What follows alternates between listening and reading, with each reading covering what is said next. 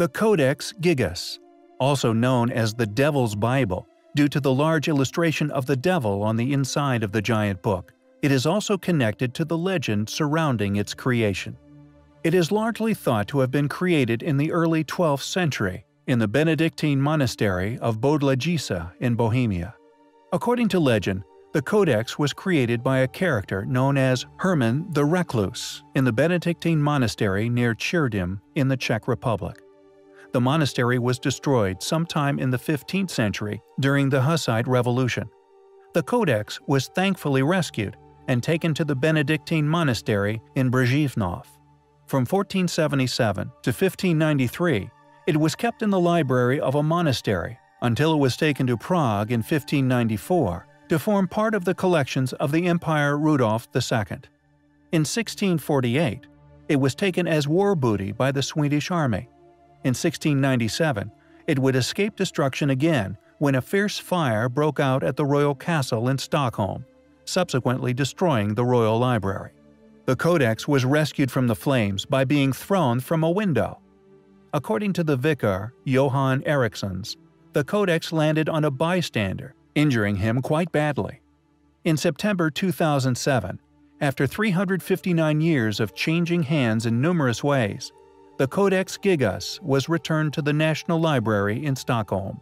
But what makes the Codex particularly special and worthy of further investigation are the characteristics within the writings of this enormous book, which astonishingly support the story of it being created in just one sitting. A National Geographic documentary included interviews with manuscript experts who argued that certain evidence, in particular the handwriting analysis and the long-standing credit to Herman Inclusus, aka Herman the Recluse, indicate the manuscript was indeed, somehow, the work of just one scribe. According to the historical legend, which was already academically recorded by the Middle Age, the scribe was a monk who broke his monastic vows and was sentenced to be walled up alive. In order to avoid this harsh penalty, he promised to create, in one night, a book to glorify the monastery forever. This book would include all human knowledge. Near midnight, he became sure that he could not complete this task alone, so he made a special prayer, not addressed to God, but to the fallen angel Lucifer, asking him to help finish the book in exchange for the monk's soul. The devil would accept this deal, completing the rest of the manuscript the monk would add the devil's picture out of gratitude for his help. Many specialists within the area of writing, forensic analysis, and also numerous replication attempts have indicated that the level of uniformity within the writings lean towards the impossible. Not only does it strongly indicate that the book was created in just one sitting, but is perfectly scribed throughout, a feat considered to be beyond that of human capabilities. The analysis also shown that the writings alone, if written by one person, would take over five years to complete, with the additional illustrations adding another 20.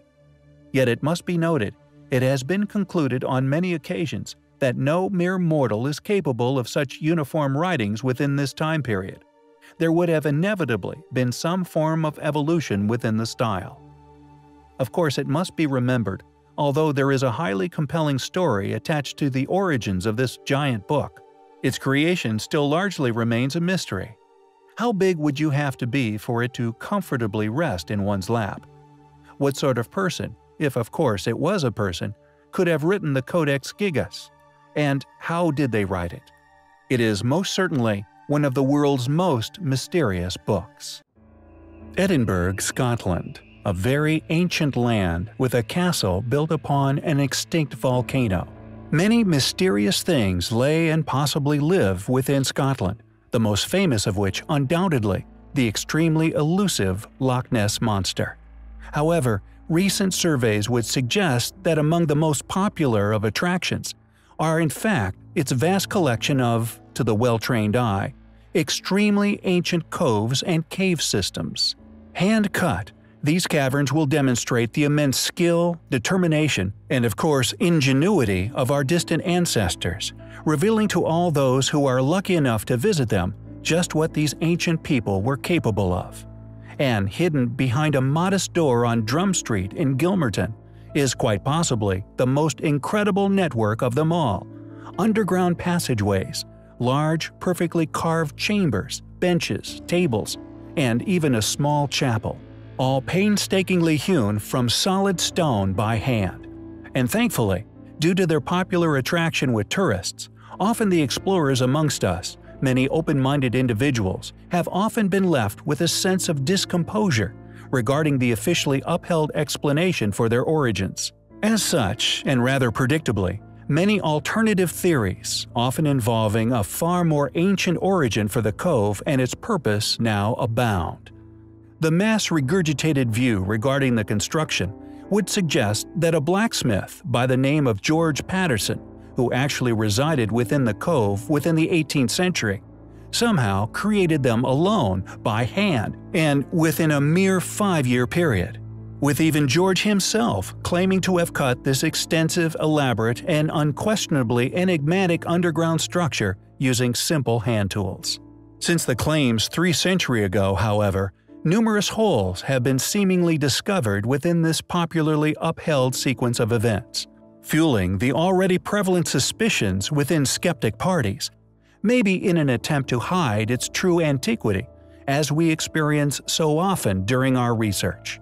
On Wednesday, the 15th of August, 1906, a front-page column by a writer known as F. R. Coles for The Scotsman dug into George Paterson's version of events, commonly referred to as the tradition. Coles found it to have been nothing but a fictional fallacy, possibly created by George himself in an attempt to profit from deception. It seems Paterson not only accomplished the seemingly impossible, excavating hundreds of tons of stone, but also it seems he successfully went unnoticed by the entire surrounding population during this entire procedure. Just who could have built Gilmerton Cove? When was it built? Why did they build it? With modern radar scans of the surrounding area indicating that even more systems lay close by, still undiscovered, possibly isolated by ancient cave-ins, you have to wonder, could the Gilmerton Cove be far older and originally far grander and extensively larger than anyone today could have ever possibly imagined. Will we ever solve the mystery of Gilmerton Cove? It seems only time will tell. There are countless ancient OOPArts, which can be found littering ancient antiquities, and indeed the exhibits which are so often attributed to an ancient civilization, subsequently debunked by said studies as having been capable of such ancient developments. As such, these artifacts are known as out-of-place artifacts or OOPArts, as they have become affectionately known. One such artifact is that of the Wedge of Aiud, a large, clearly machined piece of metal made of high-purity aluminium, dated by many researchers as that of an ancient artifact. The problem is, aluminium in this density was not developed by modern man until the late 19th century, around 1825 to be precise. Weighing an impressive 5 pounds in weight, the wedge was originally dug up, found deep within the sediments of a riverbank in modern-day Romania, disregarded by many as that of a modern-day JCB tooth. There are just as many, however, who argue, and we feel for good reason as we shall reveal, that this artifact is indeed ancient and has, through the years, continued to raise difficult questions to answer.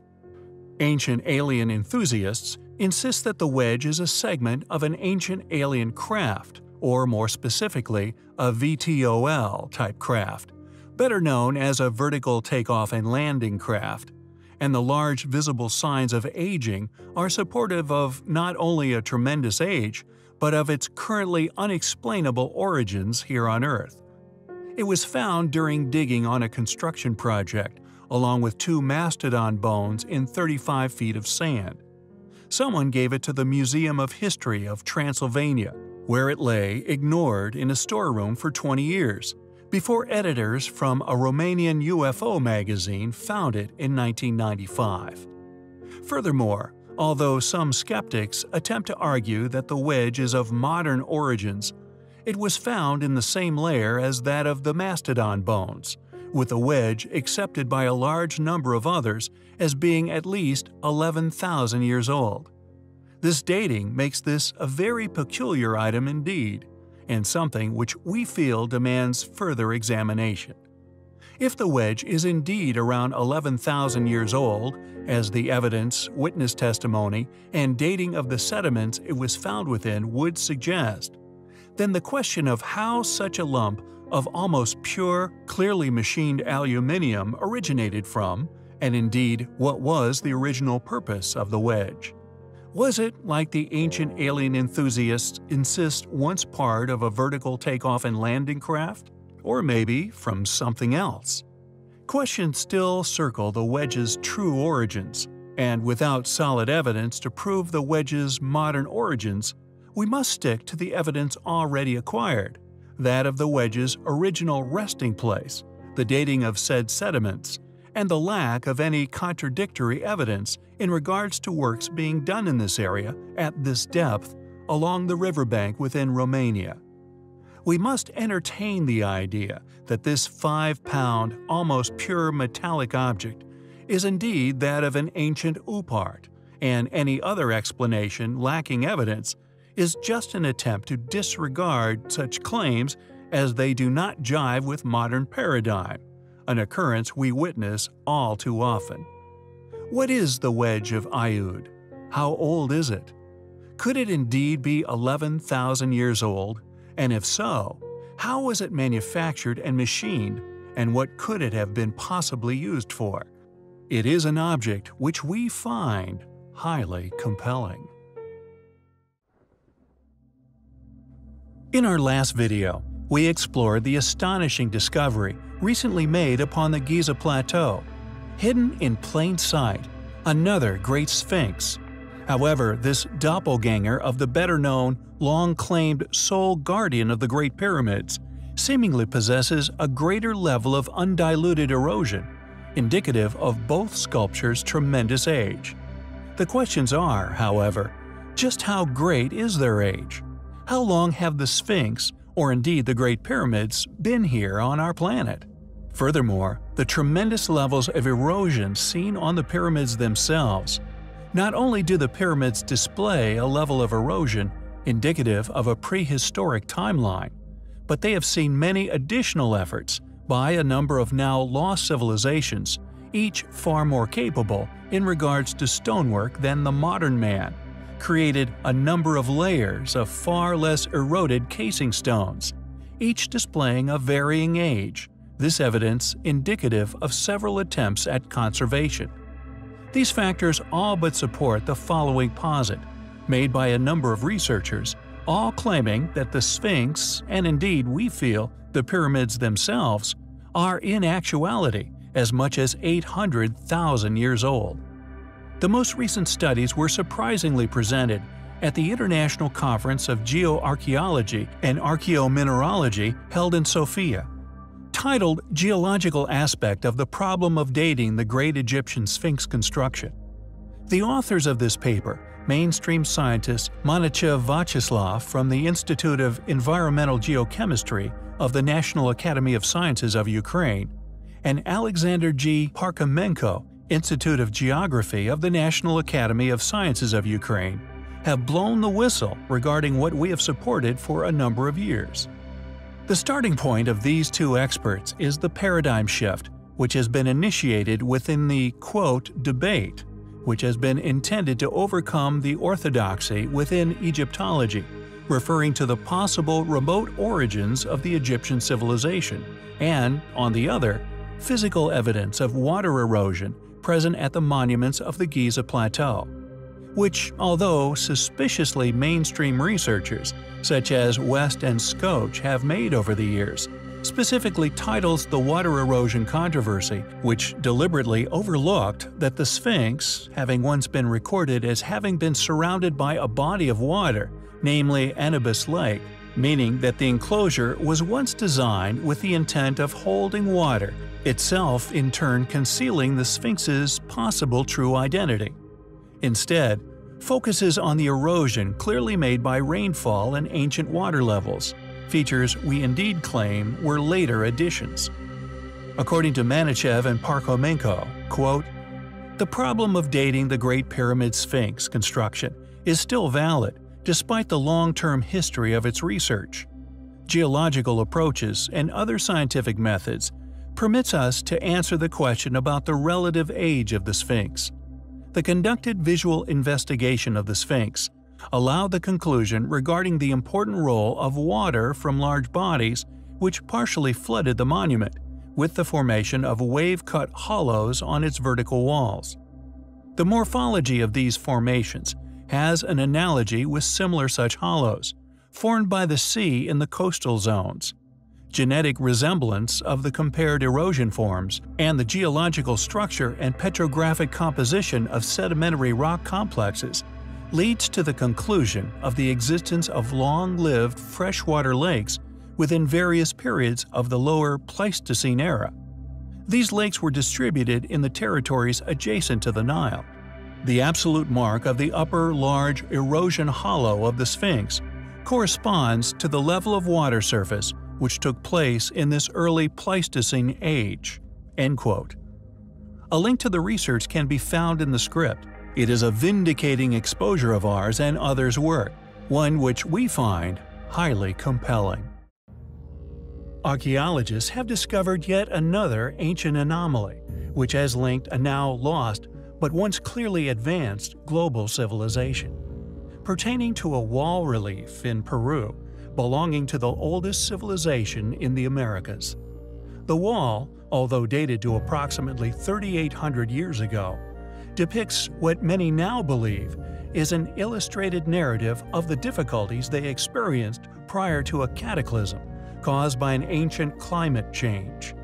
1 meter high and 2.8 meters long, the wall relief was discovered in the seaside archaeological site of Vichama, 110 kilometers north of Peru's capital, Lima.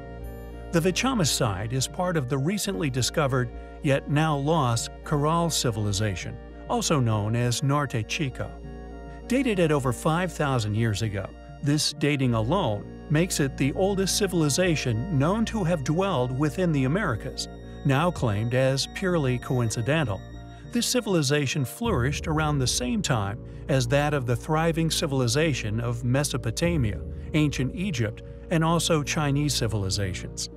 The Caral civilization was located in the Supe Valley, along the north-central coast of Peru. Made of adobe, a clay-like material, the wall seemingly documents climate change, one which could not have been contributed to by human activities. Archaeologist Ruth Shady, who oversaw the excavations at the site, hypothesized that the serpents within represented a water deity that irrigated the earth and made seeds grow. She believes the relief was likely done towards the end of a drought and famine, that the Caral civilization, among others we have covered in the past, once experienced with other reliefs displaying emaciated humans. Many self-funded archaeologists now believe, like we have postulated, that the discovery reinforces the notion that these early humans were depicting the difficulties they faced due to climate change and a depletion in available water for irrigation, which had a large impact on their agricultural production. The excavation has, to date, unearthed the ruins of 22 buildings in a 25 square hectare space. It would appear that, just like that of the site of Tikal and the now lost plaque which once depicted the dramatic scene of a cataclysm, a great flood, along with erupting volcanoes, with a boat seemingly attempting to escape this event, surrounded by many of the population drowning, a cooperating artifact fortunately photographed before its mysterious disappearance. Was there indeed a great flood? One which seemingly followed a great famine? It would seem the evidence for such an event is mounting thanks to not only the evidential sediments which once drenched many of the still unexplained ancient sites of the world, but also by its depiction by those who lived through it. It is, indeed, a highly compelling mystery.